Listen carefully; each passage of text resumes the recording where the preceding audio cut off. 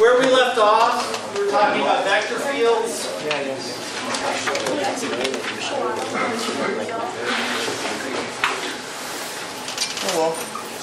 And so we have some, uh,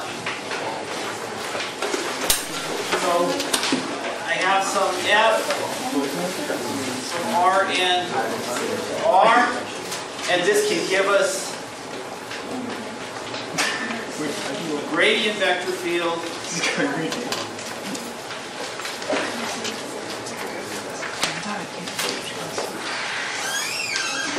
grad f, which is from Rn to Rn. Right, so I talked about this a little bit.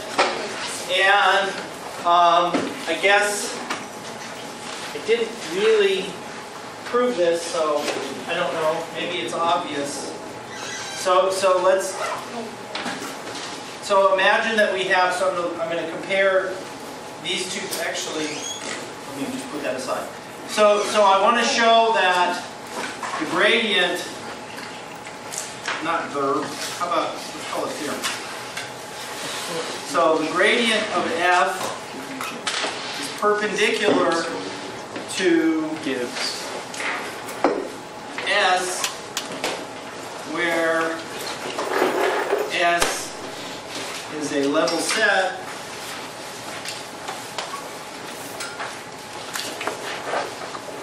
for, for f. So, so if we're talking about R2, I guess what do I need here? I guess I need, this is if, so provided that gradient of f is not zero at some point x naught, and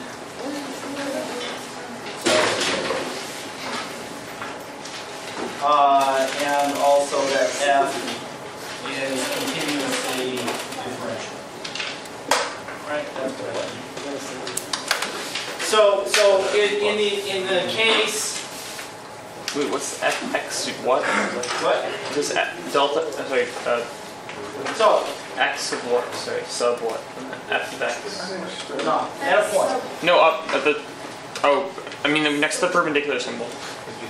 So it's perpendicular to a level set S, which contains, Oh, X X naught. Sorry, I just couldn't read Yeah. what that was. so, so what I'm saying is, so let me draw a picture. So suppose that we have, I don't know, F is x squared plus y squared. The easy example, now let's put a two here. So, so f is 4x squared plus y squared, which is, uh, grows faster in x. So this is a graph of this. This is f. There's y. There's x. Um, or the contour graph These are supposed to get closer together. These are the contours. So this is x, this is y. And the statement says that if I take any one of these level sets here,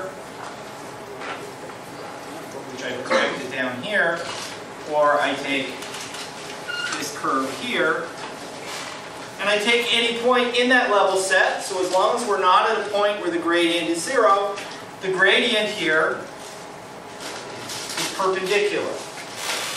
Or the gradient here, this is really the same picture, is perpendicular to that level set. Now, if we are in the case of a higher dimension,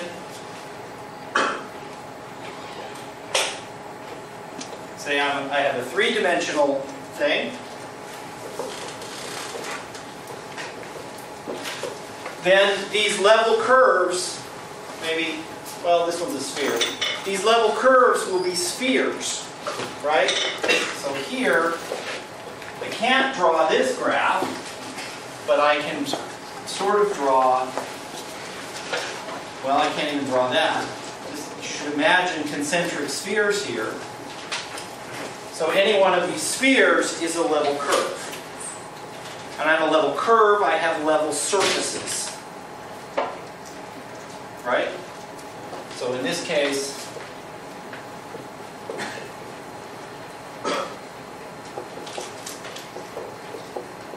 uh, maybe I should have done something that wasn't closed. Oh well, too bad.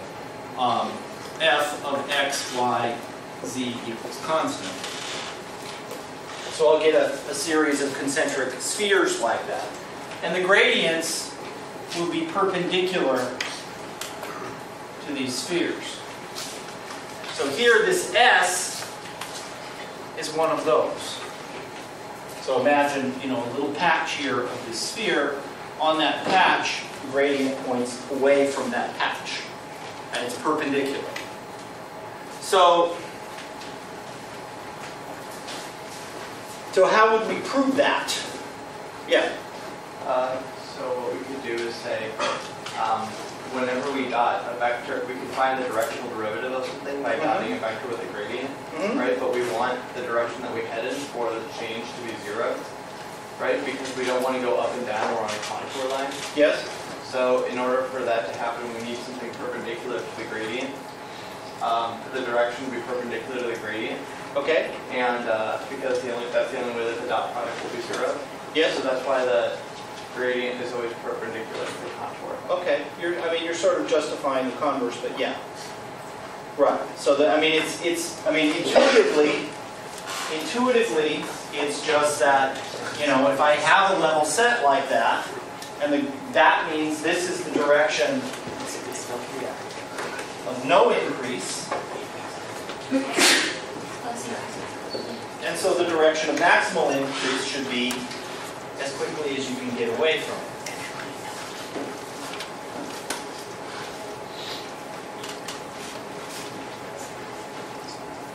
which is.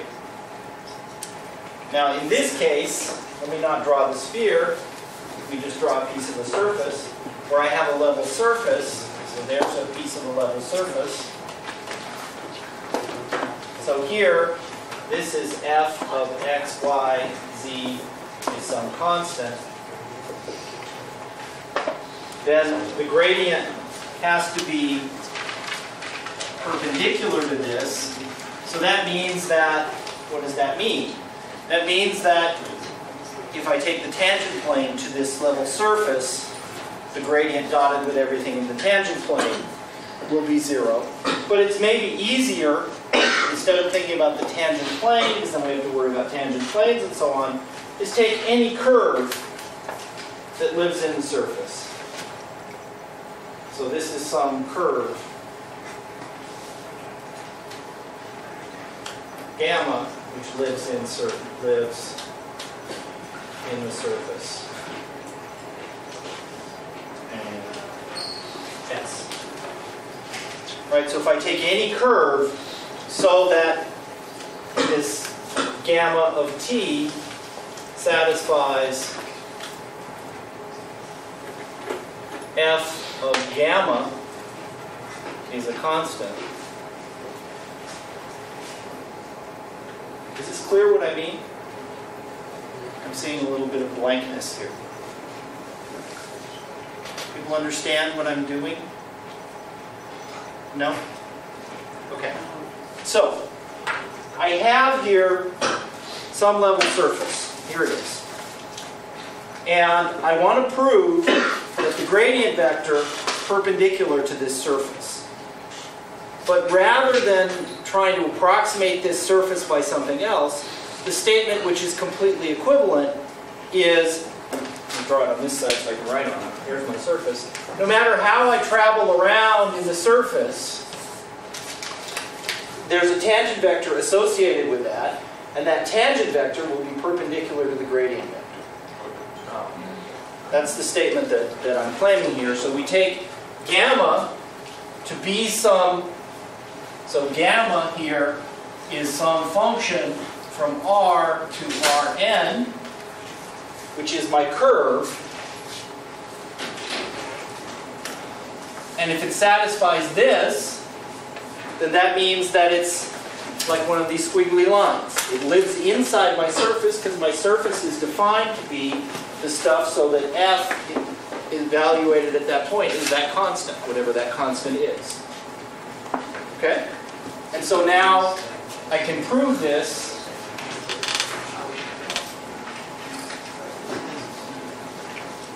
just by showing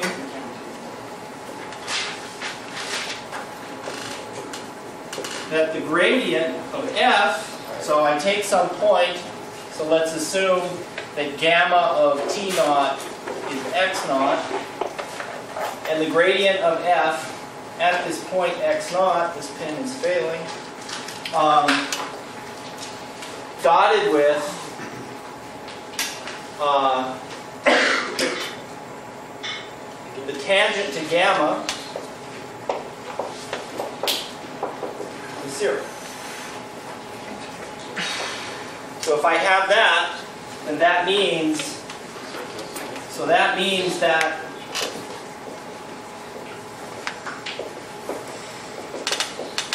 at x naught, the gradient is perpendicular to the tangent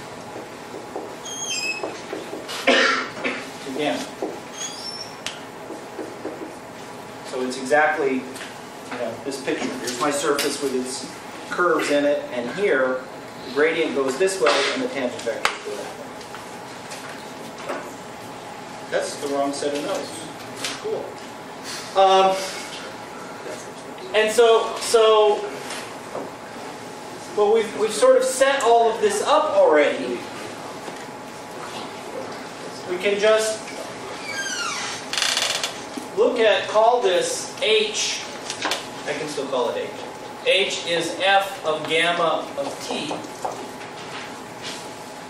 I guess there's a t here.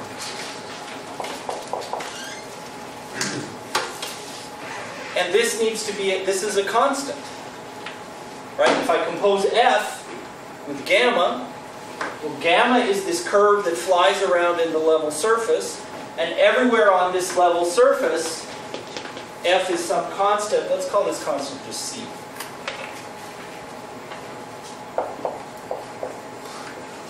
So this is some constant c.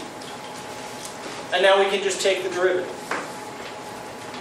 So if we take the derivative of this equation, so h prime of t, forget about this for a minute, is the derivative of c, which is 0, because it's a constant derivative of constant is 0, but also it's the derivative of this. f of gamma t. And that we did last time. That's the gradient. So it's the derivative of the outside function, which is the gradient of f, evaluated at the inside function, dotted with the derivative of the inside function. This is the tangent vector.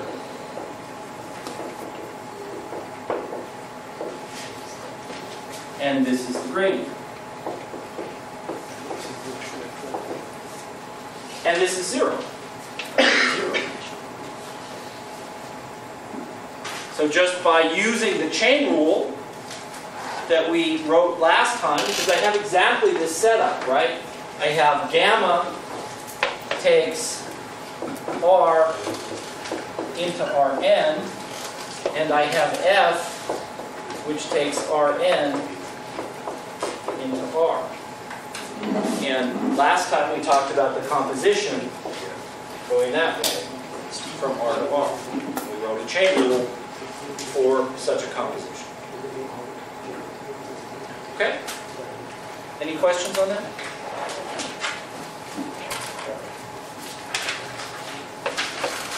All right, so let me um, come back now to gradient vector fields at least for a minute or so. I guess I didn't leave them. So these are particularly important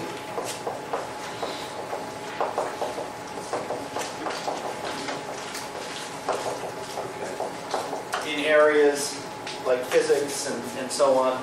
Um, a gradient vector field, this means that I have a vector field. I just wrote it over there, didn't I? Well, I'll write it again. It's a vector field which is gradient, so let's call it F, big F, let's say from Rn to Rn, which is the gradient of some little f from R. R, and geometrically this just, well, I'm going to write it as a negative. So this vector field, I'm going to write it, corresponds to, I guess write it as flowing uphill.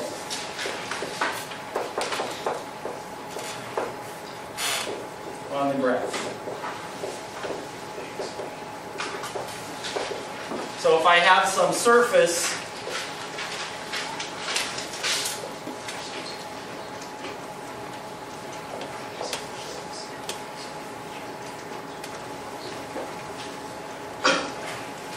some surface like that, then if I look at if I look at the contour the contours of this, this will look something like well here this point will correspond to a high point. This will be another high point here. Here, here my contour lines are going to be like circles or maybe ellipses. This point here corresponds to a point there, which is where the two ellipses come together. And then my contour lines is something that. Right, so this is my graph. I didn't put coordinates in here, but x, y, z, and this is my graph in xy plane, the contours of that. And my gradient vector field, maybe I'll use red, is going to be perpendicular to this. I guess up is towards the dots here, the way I drew it. So my vector field here is going to flow inward perpendicular to this.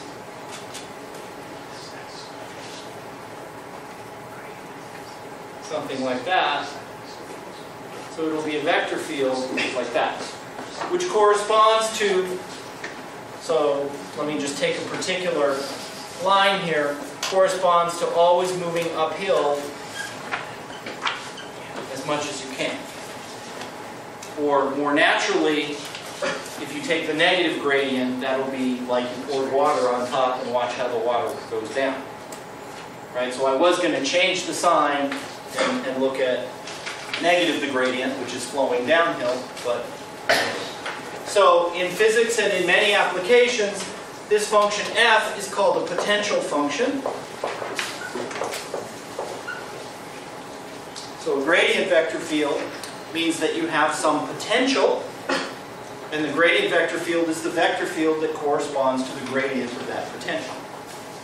And these level curves that I drew are lines where the potential is constant, and then we can have, I had green, went away, there it is. These solution curves that I'm drawing, like this. So this, this is following the flow lines here. Uh, well, that would correspond to something like this one that I did there. So that's a solution curve to this different, to this vector field. So vector field corresponds in some, some very explicit sense to a differential equation here in the plane. And these solution, these, these flow lines here, so also one often uses the word flow instead of vector field. So these lines here which correspond to the curves which are tangent to the gradient, to the vector field, are called solution curves or flow lines. And they're sort of uh, solutions of the differential equation, of the, of the vector field. Uh, So I just wanted to say a couple words about that. We will definitely come back to looking at these kinds of vector fields later in like a month or maybe a little less, maybe a couple of weeks. Um, Not just gradient ones, but ones which are not gradients. So this, this is sort of like integration in the single variable case, right? Vector field is a way of specifying something about the derivatives, finding these curves. Sometimes it's called finding an integral uh, or solving the, the flow. So there's a, a close relationship there. Um, and also in 308, there's some fair amount of attention paid to that.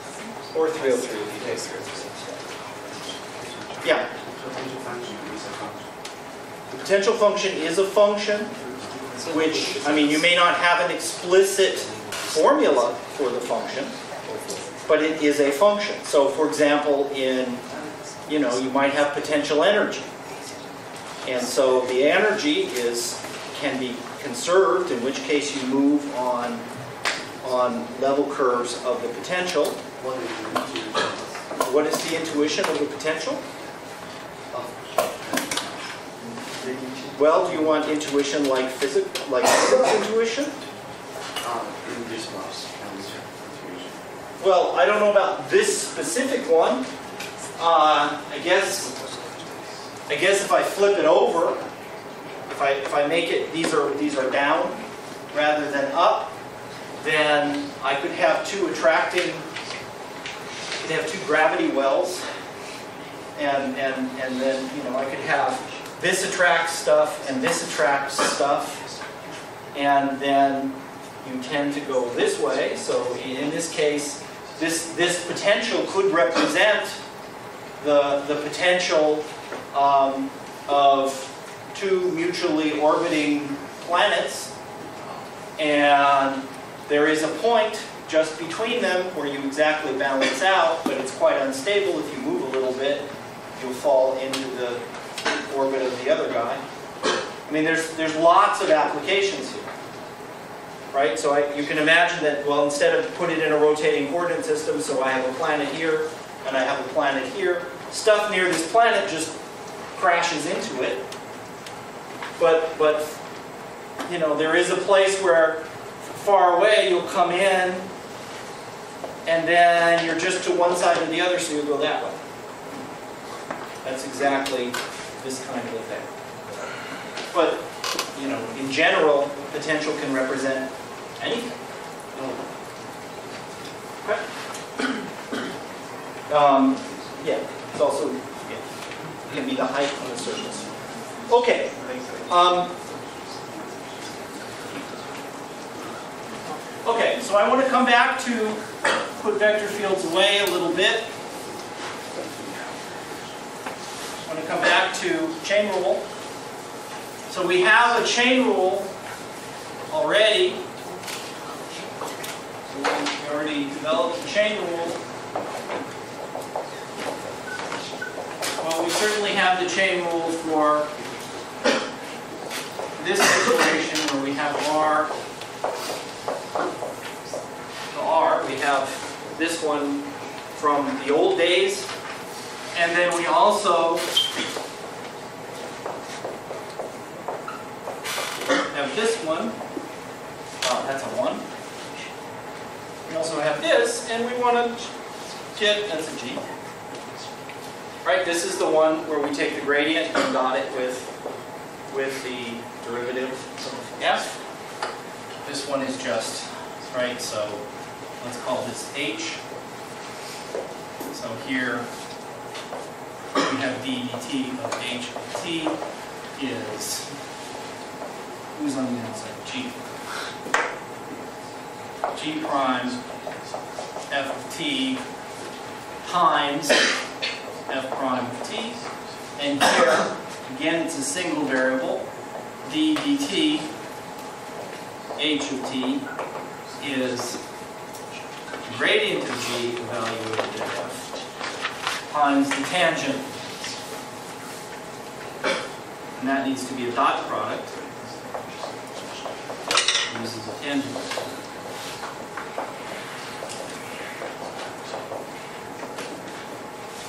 But, you know, we want, more generally, we put in Rn, we go to Rm, and then we go to Rp. So we want this. We want to write a general chain rule in, in any, in any dimension. Now, sometimes you have to be, let me just point out,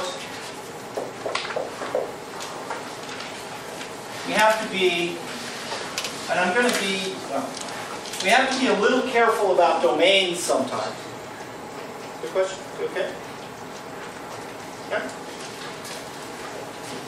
So we have to be a little careful about the domain when we're doing compositions. We have to have the same kind of care here, but we can have the situation where, say, f is defined on some blob here. Uh, and so this is the domain of f. And it goes by f to something. And this is in, so in this case, this is in Rn, this is in Rm, and maybe the domain of G doesn't include that whole thing. And so G only makes sense here. So this is the image of F. And so, uh, well, this will go into P. And so the composition obviously only makes sense on this overlap. Which means it only makes sense on part of the domain of F. Right? So sometimes you have to be a little bit careful to, to figure out where, so maybe G takes its domain onto some blob, and then this image is just going to be here. We can only make sense of the composition.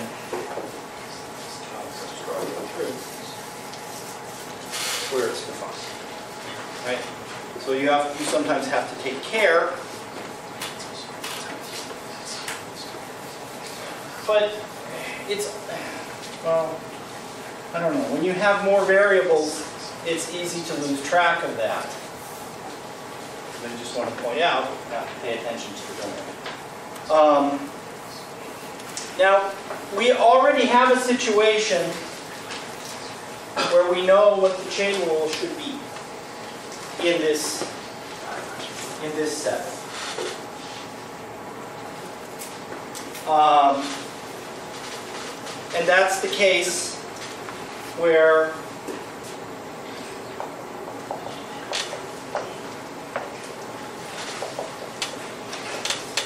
where f is a linear function and g is a linear function. We already know how that works.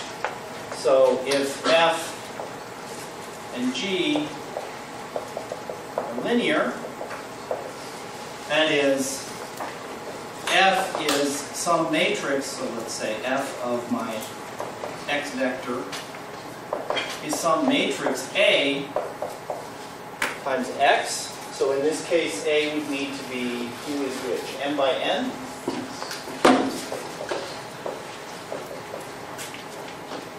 And G is some other matrix. Did I get it backwards?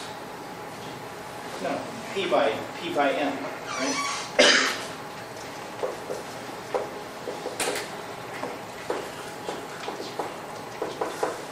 So in this case, what is df?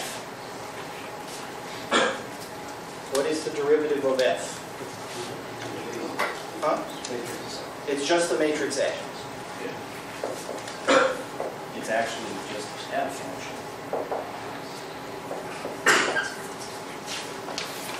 Right? And here, DG is just the matrix B. And the chain rule is just multiply the matrices.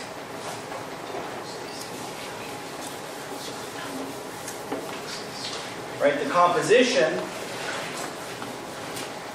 composition here, G of F of X is just, well, first I compute AX and then I compute B of that. And the derivative of this composition just matrix multiplication.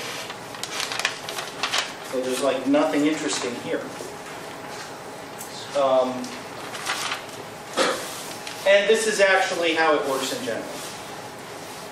So we already saw, so in the case of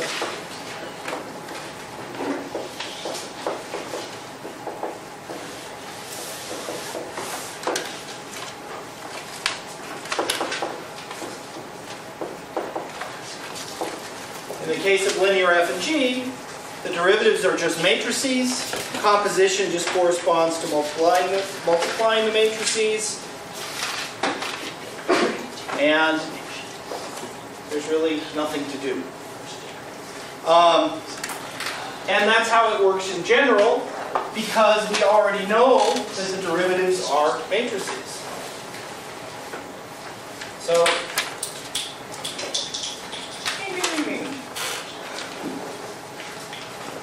So the chain rule is not part. Um, so in general, I need a condition. I don't think I need it. Continuous differentiability, blah, blah, blah. Okay. So suppose I have the situation, um, F takes Rn Rm, and G takes Rm to Rp, and both, and let's take X naught in Rn.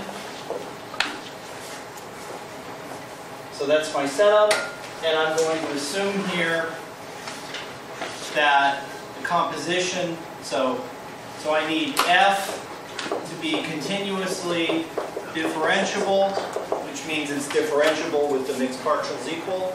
Continuously diff, or the partials are continuous, same thing. Continuously differentiable near x naught. And I need g to be continuously differentiable near f of x naught. And I need the composition G composed with F to be defined on some region around it. In other words, you know, I need this situation where X naught is say in here. Then I can go over to F of X naught, and then I can come over to G of F of X naught. Okay? So if I have that, then, no surprise, the composition is continuously differentiable near x naught. That's one fact. And furthermore, the derivative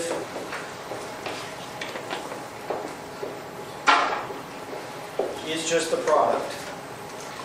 Uh, so it's derivative of g. I guess I want to turn it into a matrix, so I evaluate it at f of x naught. And I multiply it in the matrixy way by the derivative of f. Evaluate. So the chain rule just works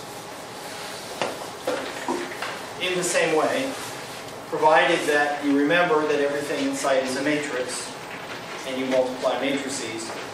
And one sloppiness that you can do in single variable calculus is you can take the derivative of the inside function first and then multiply it by the derivative of the outside function that won't necessarily work here. Right? It may not even make sense because the dimensions may be wrong and we can't multiply the matrices together. But even if n equals m equals p, these two matrices might not commute. So it's important that we do this one first. Right? So maybe I should do an example.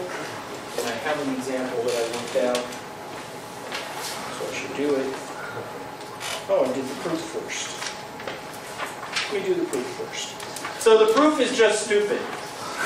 The proof is just write everything down. Sure enough, it works.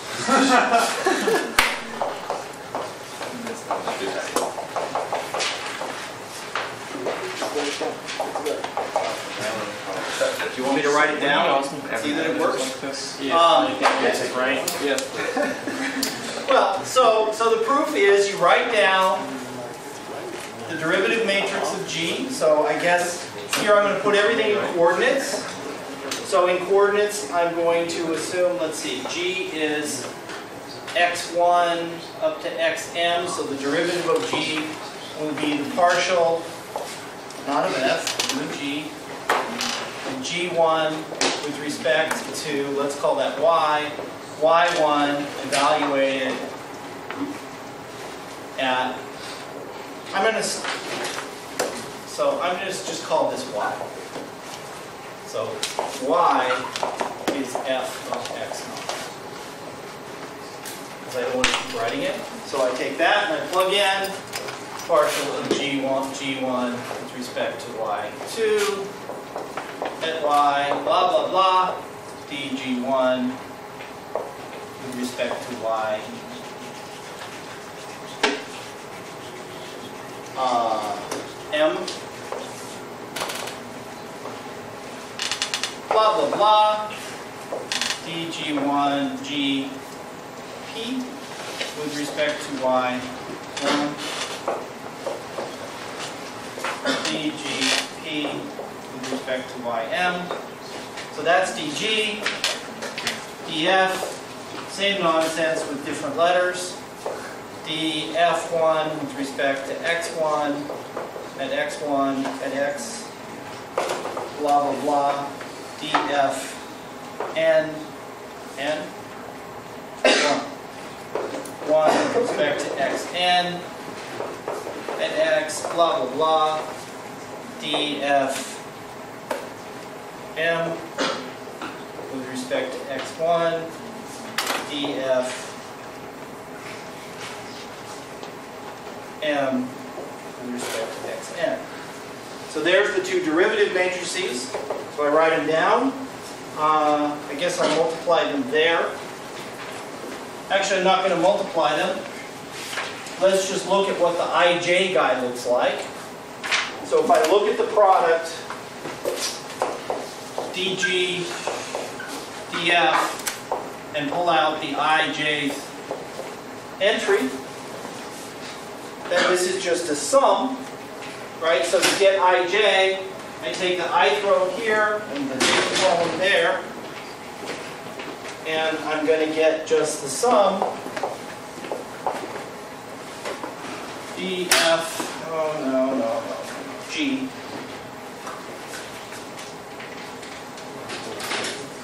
gi, so I'm going to sum over k, uh, the yk evaluated at y times the f k the x j evaluated at x. Right? So the entry, when I multiply these together, the entry in the ij place is just the product of the ith row times the jth column. So that's just the dot product of what? Well, the ith row is the gradient of GI evaluated, yeah, I guess I was calling it Y. Y. And I'm dotting that with, um, the tangent vector. Uh, yeah, so let me write that as f k prime.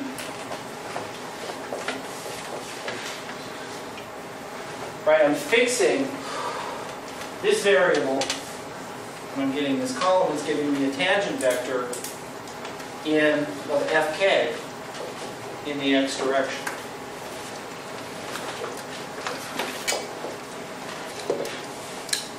Right, this is the tangent in the direction, so this is the tangent to the curve fj of x, where I'm thinking of being fixed in all directions but one. This is really that's J. Well, okay, but that's a thing we saw before. So this is the partial of g, right, y, this is, y is f of x. So that's just the partial of gi composed with f with respect to x. j, I can never keep track, yes, evaluated at x. Because it's just the derivative there with respect to xj. So, that's it. Yeah, So, uh, for the chain rule of matrices, matrices, is every gradient dotted with every tangent? yeah. Well, every tangent in each direction, right? You have a lot of tangents. So you take each coordinate and you dot it with the tangent in that coordinate direction. But, I mean, it's, it's easier just to write down. So let's do an example.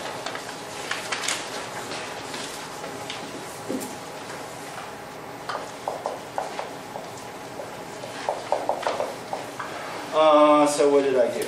So f of x, let's do a two by two. f of xy is x squared plus y squared, let's write it this way. Um, x squared minus y squared. This one should be this way. And g, uh, not of xy, of uv.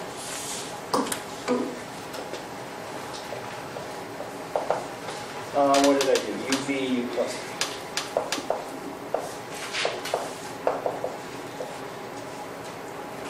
Um, okay, and let's, let's compute, well, okay, so dg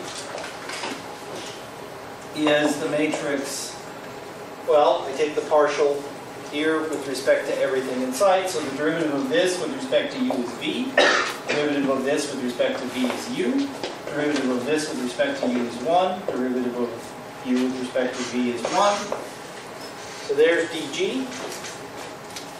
And df, I take the derivative of this with respect to x, gives me 2x. With respect to y, I get 2y. With respect to x, I get 2x. With respect to y, I get minus 2y. And let's compute the product at a point. So let's just compute the derivative of the composition at the point, uh, what did I do?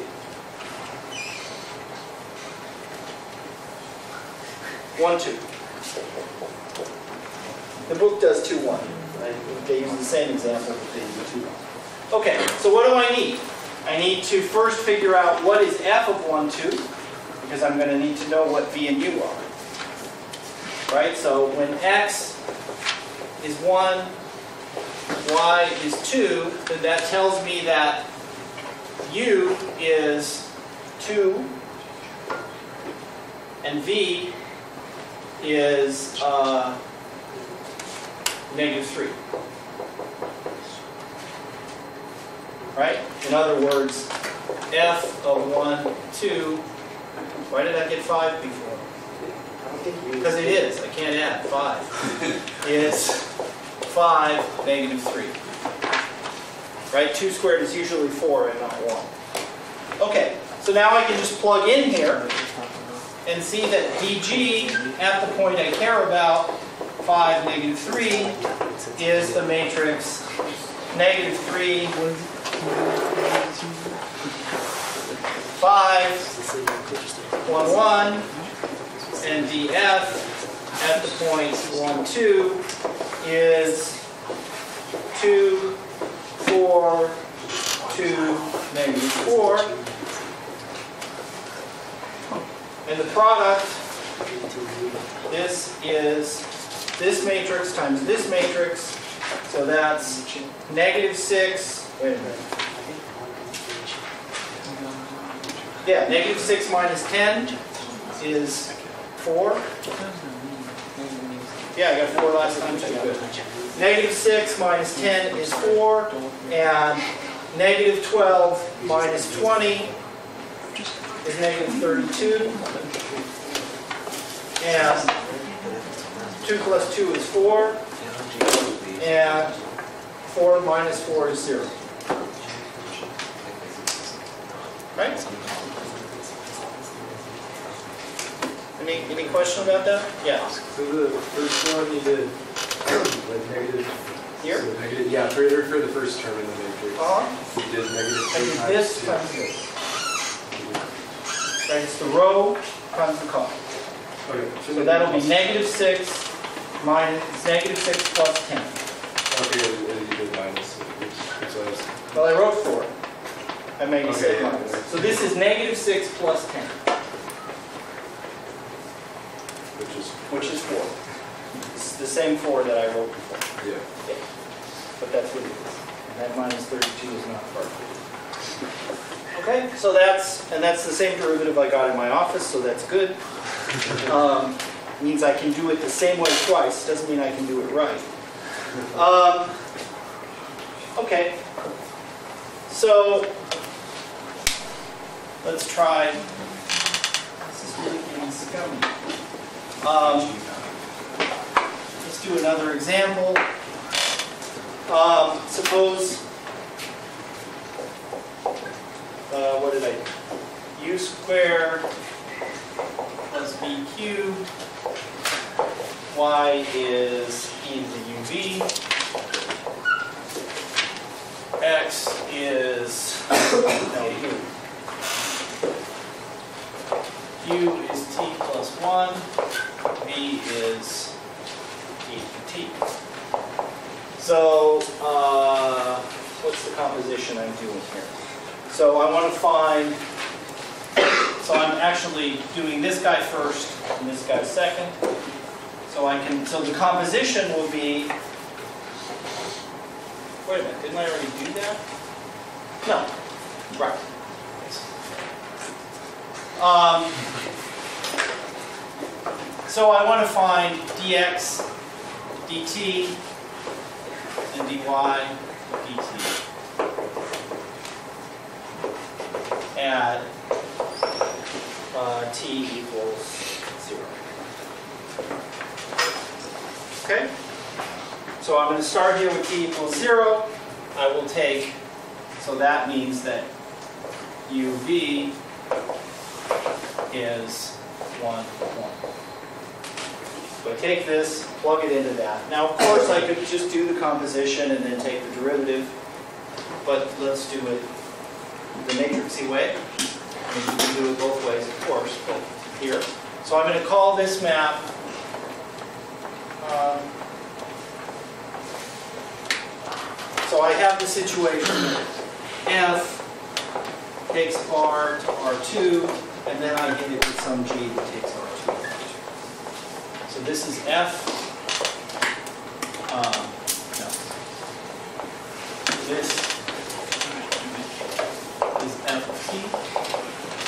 And this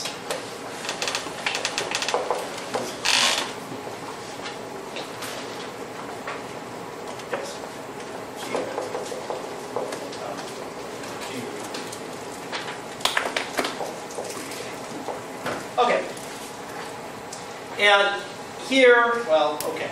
So I can either not do it at t equals zero. Let's do it at t equals zero, where it's straightforward. Um, okay, so I just need to write down dg at, at t equals zero is just, g is here. Who's on the outside? G's on the inside. Um, so let's do df first. df is 1 e to the t. And dg is 2u 3v squared uh, v e to the u u e to the v. Then V to the UV. I'm sorry?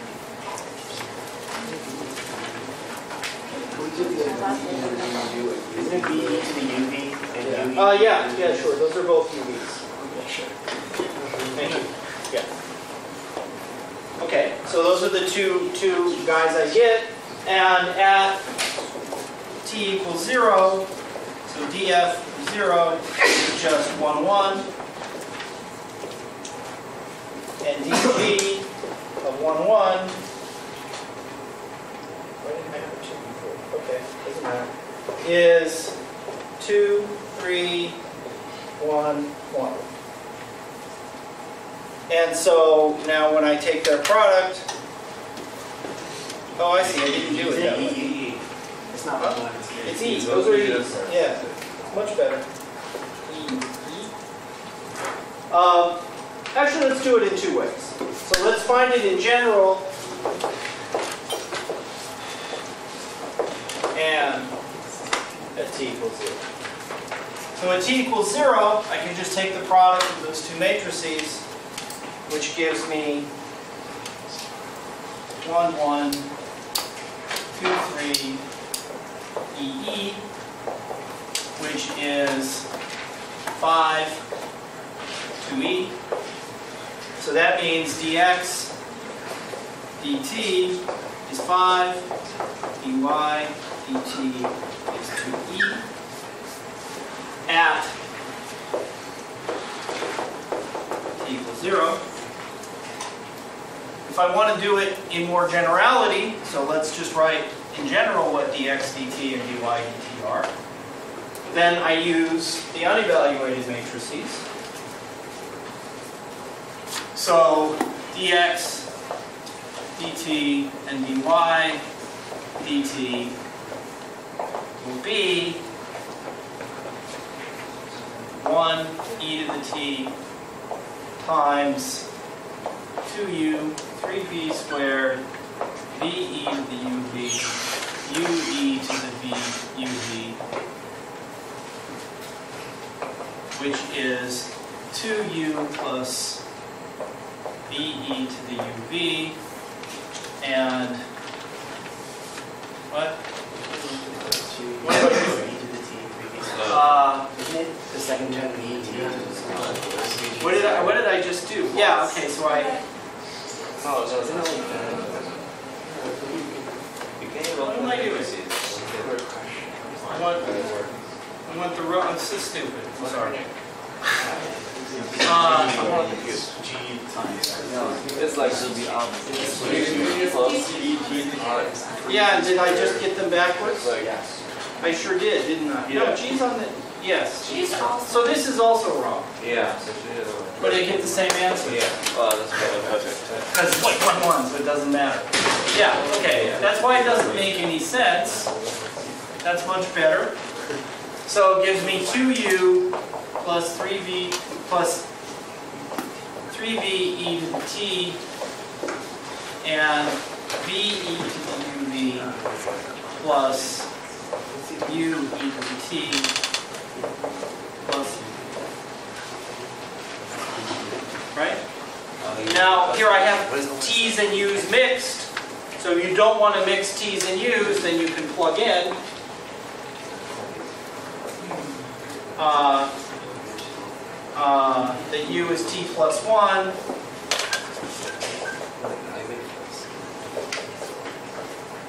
v was e to t. So that's e to the t squared, which is e to the 3t. And here, this is v is e to the t.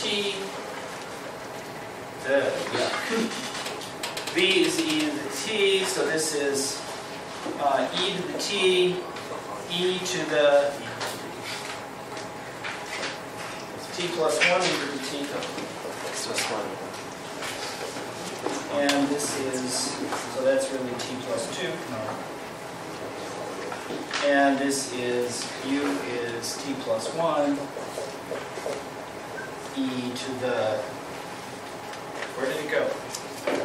t plus uv. t plus t plus 1. Kind of a mess, but you know, we can do that. Okay? Um, and one can just do that. So I'm not going to do these all day long. It's a little dull. So let's move on. So any questions about this? Yeah, Does that work? You interested to understand this? Seems like sure. So, so what is this saying? This is saying I have some, let me just draw it in terms of boxes. So I have some box here, which I apply, my inner function is f or g. I guess I do f first. And it gives me something. Okay, and at this point, where I'm looking at, locally, f is some, they're very near this point, the image here, f is some kind of, let me draw it as a parallel, some kind of linear stretch and compress. It's a matrix. So it's some kind of linear map.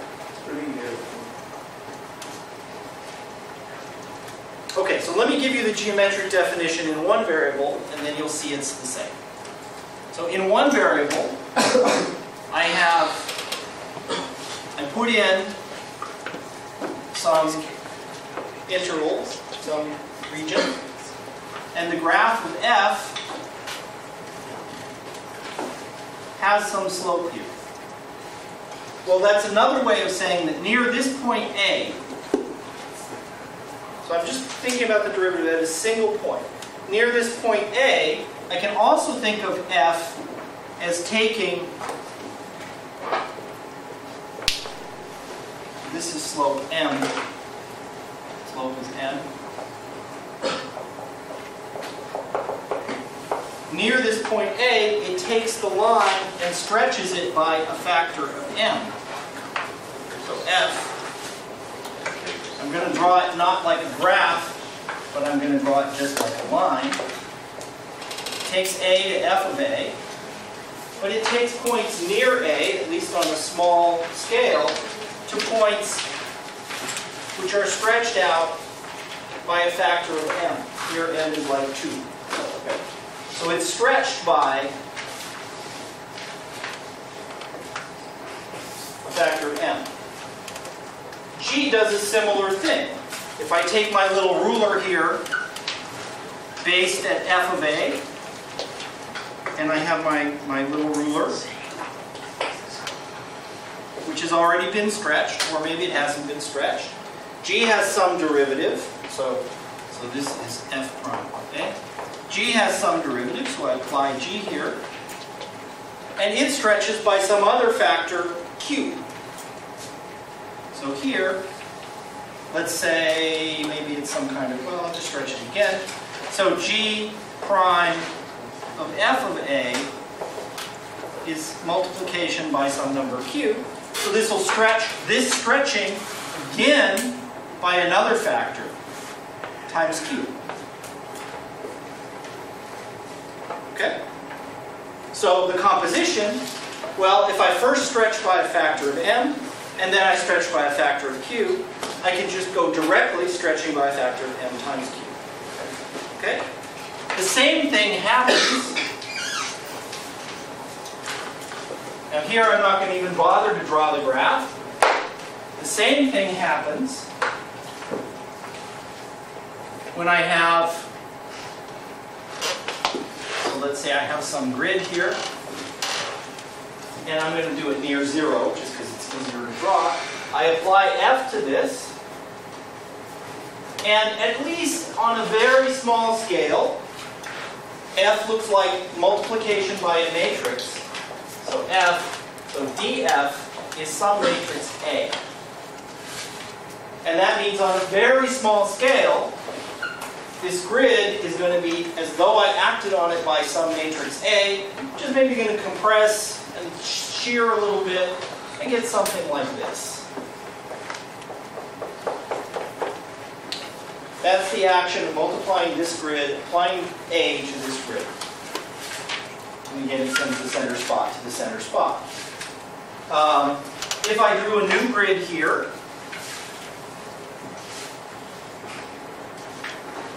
and I apply G to it, well, G is going to be just like DG is like acting by a matrix B. And so that's going to take this green grid and do something to it. Maybe it's going to, I don't know, just rotate. So it rotates the grid like this. And now if I just look at the, the, the black grid inside the green grid, it gets rotated even more and compressed like that. And the composition here, so this is, so DG is some B. The composition is just squish the thing and then turn it.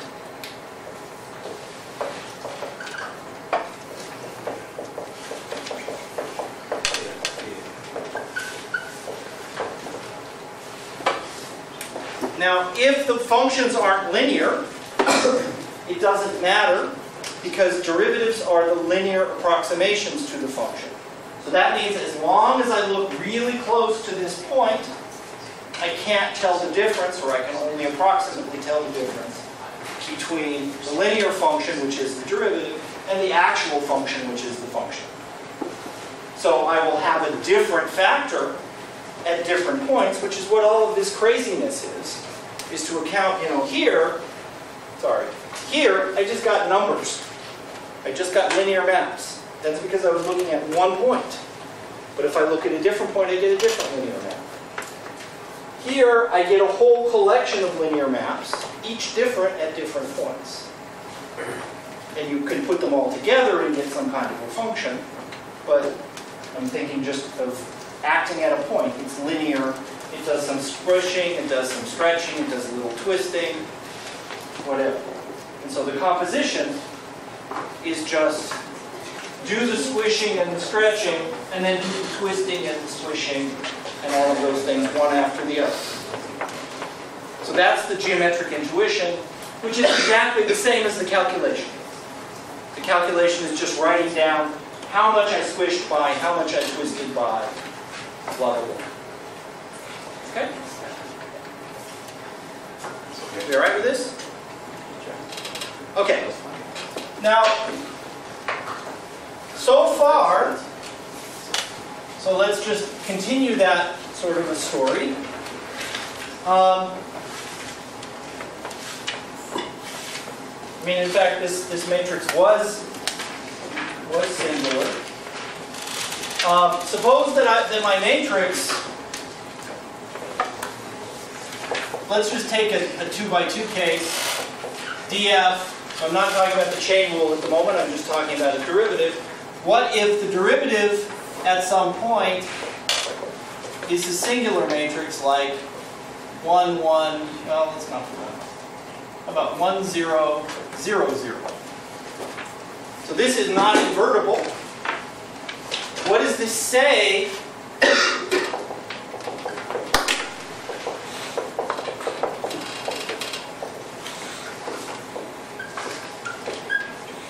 This pen is dying. Say about F near P?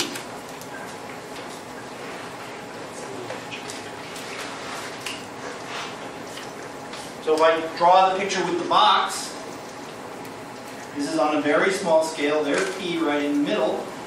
I apply F or DF. What's the image of that box under that matrix? Yeah. That's. Right, it's just a line, so the x-axis, the x direction is completely preserved, the y direction is killed. So all the stuff in the y gets smashed to this line. So it's, it's singular in this direction. And of course, if I put some other stuff here, so if I do something like, you know, 1, 1, or 1, 2, 0, 0, then instead of being just smashed onto that line, I'll be smashed onto the line of slope 2, but still I'm smashed in some direction here. If I have more dimensions, I might be compressed in other, you know, depend, so if the, sorry. If, so that's saying, so this is saying, if the determinant of df is zero, that means the matrix is not invertible, then that means that I'll have a problem. Something is smashed. So if the determinant is zero, that means there's going to be some direction, maybe a whole line of directions. This doesn't mean it's going to drink a lot. It's going to get compressed. I'm going to lose a dimension, maybe several dimensions. Yeah, I'll have drunken function. Um, so, let's stay away from that situation for a moment.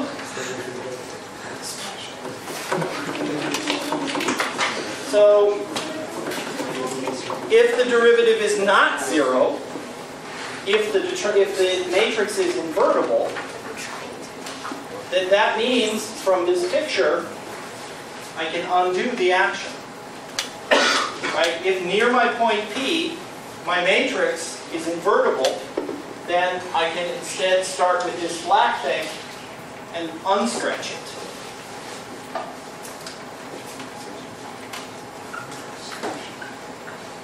So if the determinant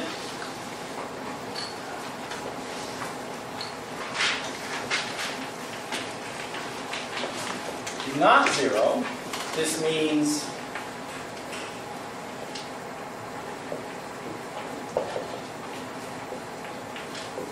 I have an inverse matrix.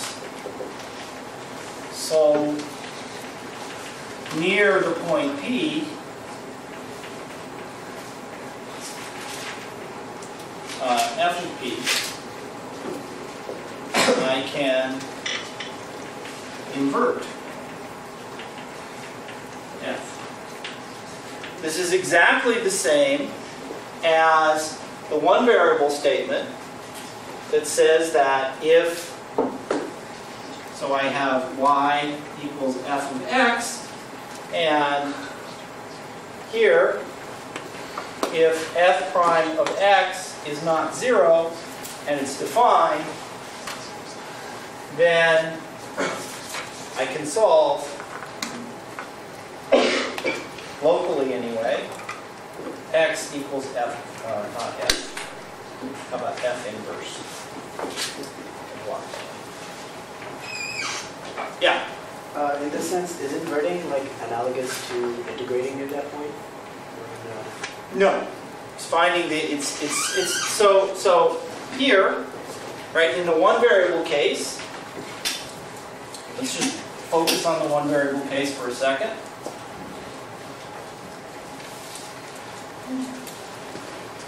So in the one variable case, I have y equals x squared. And if I choose, so near x equals minus 1, y equals 1, I know that x is the square root negative of y. I have an inverse function. So that's what I mean by inverse. So I have y equals x squared, and so here's negative 1. Huh? Did I do it wrong? Okay.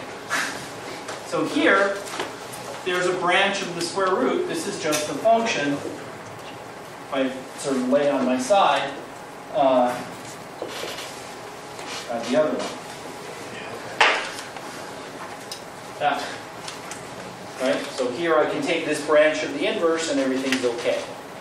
I need to know which of the two pieces I'm on, but as long as I just look around here and stay away from zero, I have an inverse function, and I can write a formula for it. I can't always write a formula, but I always have an inverse as long as I stay away from the place where the derivative is zero. Notice that near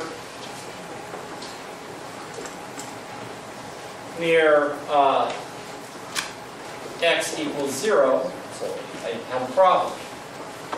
Um, f prime of x equals zero, and I can't make an inverse because I don't know which side to choose. I have to take both. So plus or minus square root x, this is not a function. Because the derivative is zero here, I don't have an inverse. Now maybe if the derivative is zero, I can still make stuff work, because maybe if you think about the example with the cube root, I'm okay. Right, with, with the cube, so this is sufficient but not necessary. Uh, If my function is y equals x cubed, things are still okay. I still have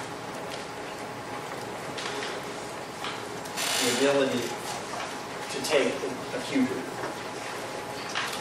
is fine. So this is f, this is f inverse, I'm okay. But if the derivative is not zero, for sure everything's okay. And the analog here is the same. If the determinant is not zero, the determinant of the derivative is not zero, wow, okay. Um, sorry, I'm waving high. If the determinant of the derivative is not zero, then I have an inverse. If it is zero, probably I don't have an inverse, maybe kind of, sort of, unless I'm lucky. So let me write that as a, as a theorem. Uh, I don't need anything there. Okay. So this is called the inverse function theorem. Yes?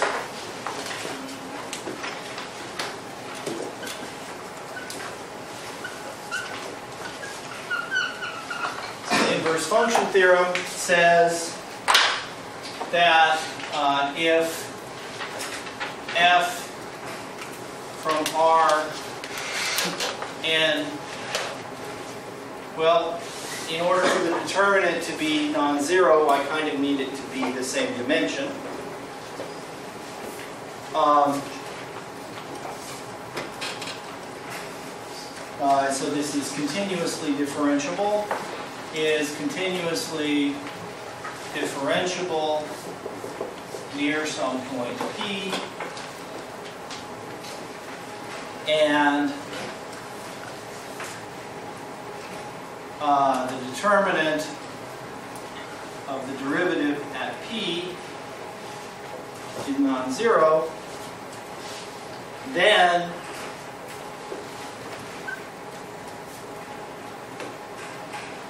wait a minute, can I go one way?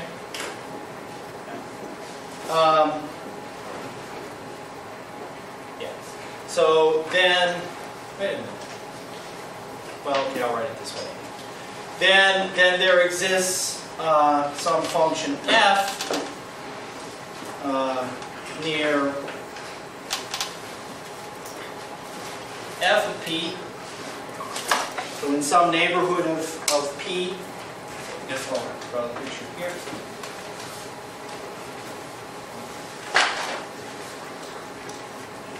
right? I have, I have my point P sitting in Rn here, in some region where f is nice. F sends it over here to f of P. So then there's some region near here where I can go back by big F, which I'll call F inverse.